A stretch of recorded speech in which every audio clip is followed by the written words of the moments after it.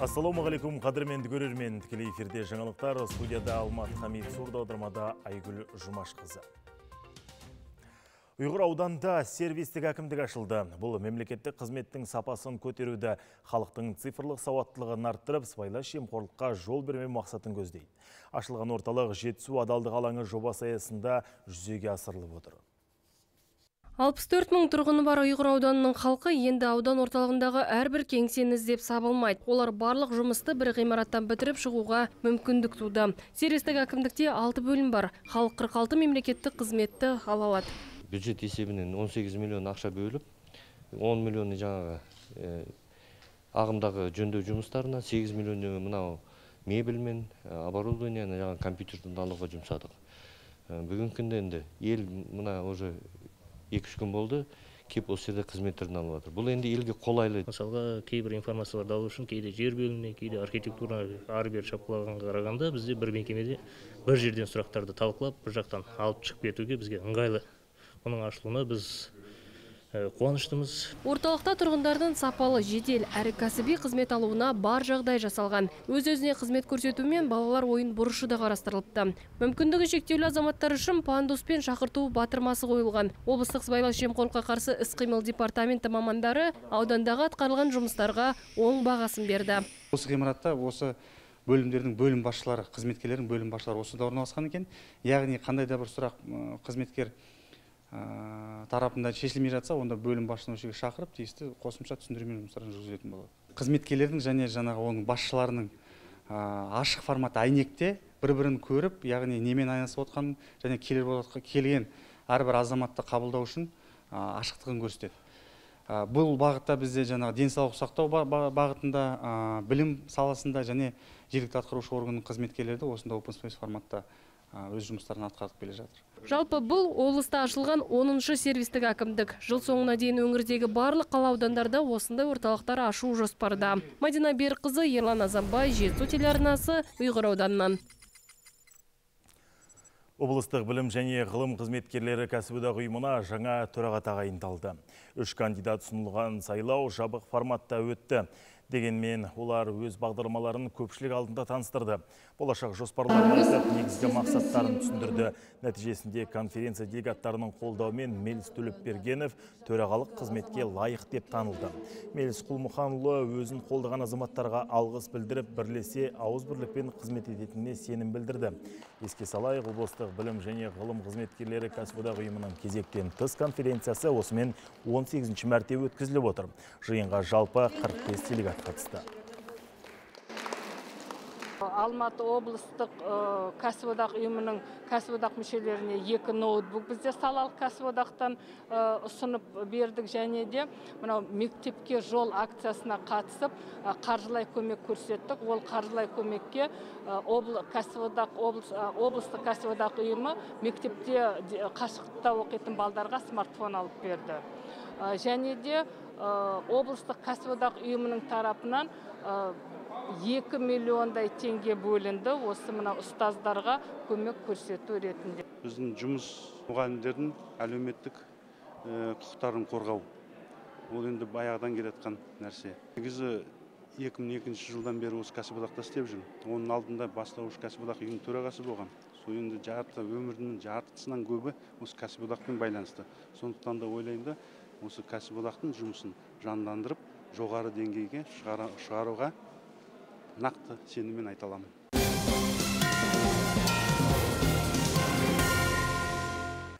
Жетісулық мәдениет пен өнер саласының өкілдері үшін жаңа маусым басталды. Жаңа ізденістері, жаңа тартулары, жаңа жетістіктері көп. Жаңалығы биыл Алматы облыс әкімінің қолдауымен өңірде балаларға базарлық атты үш томдық жаңа жинақ жарық көрді. Жергілікті ақын жазушылардың да кітаптары басылып, оқырман ортасына жол тартты. Тағы бір елеулі тұсы Абай күні қарсаңында тағылымдық тәлімдік мазмұны зор адамзаттың абайы жинағы шықты. Өнер саласының майталмандары да маусым алды кезеңді бірқатар марапаттарға ие болды.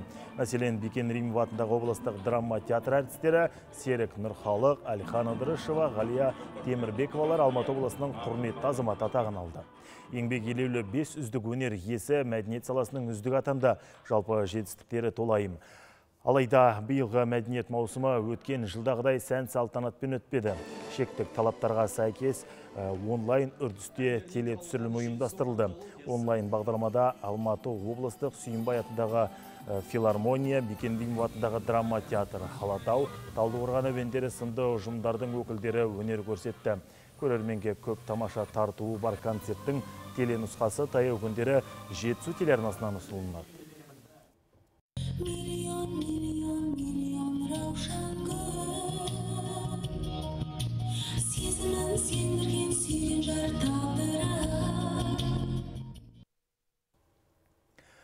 Көптен күткен жақсылық Райымбек ауданы Қызыл шекара және Жамбыл аудандарында ауызсу құбырын тарту қызу жұмыстары жүргізіліп жатыр. Оған қоса өңірде тағы екі мектеп, бір балабақша күрделі жөндеу жұмыстары қолға алынған. Шалғай өңірдегі қолға алынған құрылыс жұмыстары туралы келесі бейне материалда. Жамбыл ауылының тұрғындары ұзақ жылдан бері ауыз судан тарығып ақ келді. Амалсыз ағын судан шөл басып, құдық қазып ас ауқатын әзірледі. Әрине сапасы сын көтермейді. Биыл маусым айында облыс әкімінің қолдауымен сапалы тіршілік нәрін тарту жұмыстары қолға алынды. Сөйтіп 400-ге жуық түтіні бар елді мекен бойына қан жүгірді. Жамбылдықтардың жүзі жадырап, көңілдері құлпырды. Неше жылдан бері міне тасып іштік өзеннен байынқол деген өзен бар мына жерде. Содан тасып іштік енді міне одан кейін әркім өздері құдық қазып су шығарып алған содан ішіп жатқан. Енді міне бүгін биыл су түскелі жатыр міне жақын арада міне бұйыртса. Рахмет біз осы мына судың басшыларына қолға алып жатқандарына. Қуаныштымыз. Ауыл шетінен салынып жатқан қос бірдей су қоймасы құрылысының бүгінде 70 пайызы соңына жеткен. Әр қайсысының сыйымдылығы 200 текше метр. Кісі бойы қоршауы да жасалады. Ал 300 метр тереңдіктен шыққан тіршілік нәрі ауыл ішіне 14 шақырымдық құбыр арқылы таралады. Жұмыс ақсаған емес. Кестеге сай жүріп жатыр. ода да где то 14 километр жүргізуіміз керек А, сегіз где то 11 километрін жүріп қойдық 70 процентін бітіріп қойдық құда қаласа осы ноябрьде ноябрьге жеткізбей бітіреміз. Ауылдан ауылдан э, 31 бала алдым жұмысқаны Бір айта кетерлігі дәл осындай ауыз су құбыры тағы Қызыл шекара ауылында да тартылып жатыр. Қыркүйектің соңына дейін пайдалануға берілмек. Ал күрделі жөндеу жұмыстары қызу жүріп жатқан білім шаңырағының бірі Талас ауылындағы Шохан Валиханов атындағы орта мектеп. Сонау 1984 жылы 480 орынға шақталып бой көтерген нысан өмірі күрделі жөндеу көрмепті. Биыл мұнда да жұмыспен қамту жол картасы аясында облыс қоржынынан 354 миллион теңге қаржы бөлініп, құрылысы қолға алынған. Бүгінде 90 пайыз жұмыс соңына жетіп, ел қуанышы еселеніп отыр. Атап кетерлігі білім шаңырағында жөндеу жұмысы басталғалы, ауылдағы 40 азамат екі қолға бір күрек тапқан. Қыркүйек айының соңында пайдалануға берілмек. шипырларынан су өтіп есік терезесінен су кіріп дегендей ішінде балаларымыз тоңатын мына ендігі күндерде мына алда э, э, күрделі жөндеуден өтіп жатыр құзырлы басшыларға мыңда бір рахмет. Келешекте мына аман есен болып осы мектебімізге бала шағамыз аман есен оралсын осы мектебімізде өзім мына ауылда тұрғындарының атынан және көп баланы э, ретінде мыңда бір рахметімді айтамын Жұмыспен қамту жол картасы аясында шеткері аймақта қолға алынып жатқан шаруалар тек бұл ғана емес. Жоспар 401 адам жұмыспен қамту керек болғанбыз. Бүгінгі таңда 318 адам жұмысқа тартылды. Алдағы уақытта кезең кезеңімен әлі аяқталмаған құрылыс жұмыстарында өздері тартылып жоспарды толығымен орындайтын боламыз. 32 жоба бізде ә, 3 миллиард 129 миллион теңге бөлінген. Осындай осыдан бөлек текес ауылдық округінде шорманов атындағы орта мектептің күрделі жөндеу жұмыстары жүріп жатыр сарыбастау ауылында балабақшаның күрделі жөндеу жұмыстары жүргізіліп жатыр Бұған қоса биыл Нарынқол өңірінде тағы 6 елді мекенде ұзындығы 18 шақырымдық ішкі жолдар жөнделіп, пайдалануға берілді. Құрманжан Қасымжанұлы, Аманжол Жентешев, Жетісу арнасы. Талдықорған сауда нүктелері заманауи дүкендер желісімен толықты. Тоймарт супермаркет ашылды. Жаңа сауда орталығында сан алуан сапалы өнімдердің бәрі бар. Бағасы да қол жетімді дейді тұрғындар. Бұл Тоймарт сауда желісінің 35-ші супермаркеті. Орналасқан орны да қолайлы. Тұрғындарға барлық жағдай жасалған. Дүкен алдында көлік тұрағы да қарастырылыпты. Жаяу азаматтарға автобус аялдамасы да жақын. Дәл Самал шағын ауданындағы бұл аялдамадан қаланың барлық бағытына автобус қатынайды. өте тамаша магазин көптен бері күтіп жүрміз төрт бес ай болды күткенімізге бағалары өте төмен еліміз аман жұртымыз тыныш болып осындай әдемі магазиндер ашыла берсін халықтың жағдайын ойлап жатқан осы супермаркеттің басшыларына көптен көп алғысым. Осы бағадан жоғары көтерілмесе екен деймін. Ана магнумға барғанға біз жасымыз келген алыс қой енді. Сосын жақын жерден алғанға өзі қуанып тұрмыз қуаныштымын. Неге келіп мынаның бәрін алып жатырмын енді? Бағасы өзіме ұнап тұр. Бізге жақсы болды өзімізге. Общем үлкен кісілерге особенно магазинге баратын. Бәрі бар бәрі өзінің шамаң келгенше аласың. Супермаркеттің сыртқы көрінісі ішкі мазмұнына сай, заманауи әрі әмбебап, сөрелері қайысып тұр, сан алуан сапалы тауар, азық-түлік пен көкөніс, жеміс-жидек түр-түрімен көз сүріндіреді. Ет сүт өнімдері талғампаз тұтынушыны таңғалдыруда. бағалары да қолжетімді.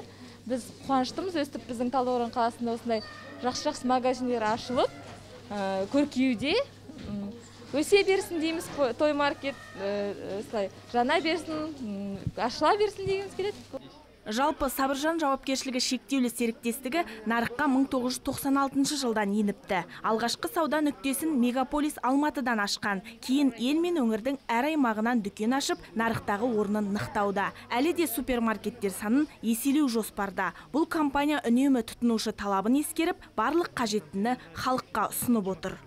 Сабыржан компания осы талдықорғанға келіп міне екінші магазин ашып жатырмыз біздің ерекшелігіміз біз барлық ә, производительдерменен тура келісімде отырмыз олардың біз заводтан ә, бірден аламыз баға өте төмен Дүкеннің ашылуы жаңалыққа жаны құмар тұтынушылар қауымын ғана қуантып қойған жоқ. Жұмыссыз жүрген бір қатар талдықорғандықтарды да шаттандырды. Бұл Тоймарттың облыс орталығындағы екінші нүктесі. Меруерт Қыдырбайқызы, Надир Хамзин, Жетісу телеарнасы.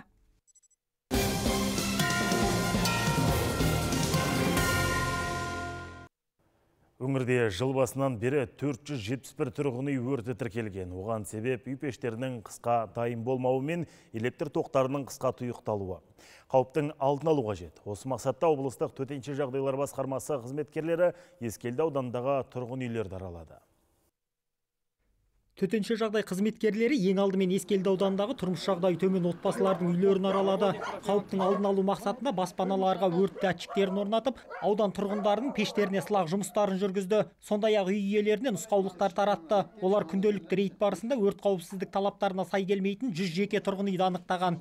біздің ескелді ауданында он үш мың қырық тоғыз тұрғын үй бар әр жаңағыдай ауылдық округтарда он үш мың қырық тоғыз тұрғын үйдің бәрін аралап яғни оның ішінде әлеуметтік әлсіз топтары яғни 540 үй 540 үй. Сол 540 үйді толықтай аралап қазіргі кезде болдық. Қазіргі кезде бәріне ескерту нұсқаулықтары берілді.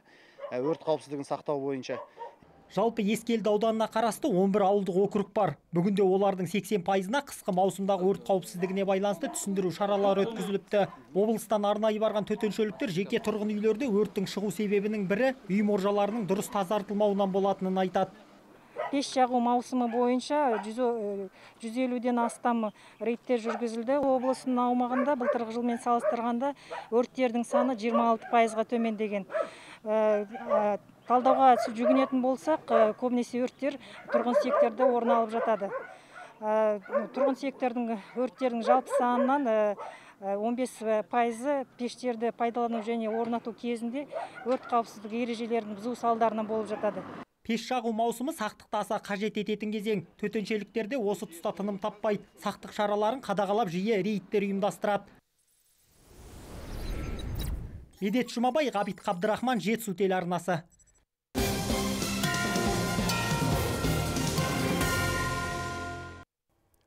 Ақшта орман өрті әлі ырық бермей тұр. Ал Молдовада есту қабілеті бұзылғандар үшін арнайы маска жасап шығарды. Осы және өзге де әлем жаңалықтары келесі топтамада. Молдовада құлақ мүкістігі бар 3 мыңға жуық адам тұрады. Есту қабілеті бұзылғандар үшін пандемия тұсында маска тағу қолайсыз.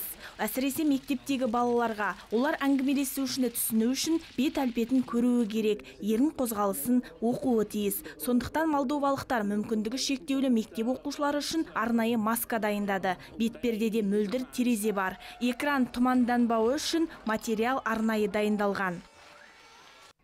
Ақшта қызыл жалын ырық бермей тұр. Елдің батысындағы орман өртінен 23 адам қаза тапты. Олардың 19-ы калифорния тұрғындары. Сондай ақ ондаған адам із түссіз жоғалып кеткен. Ауыр жарақат алғандар да аз емес. Мамандар мәліметінше қызыл жалыннан жүздеген үй қирапты. Мыңдаған ғимарат құлауы мүмкін. Болжам бойынша елде 1,8 миллион гектар аумақты алатын жүзден астам ірі өрт болып жатыр.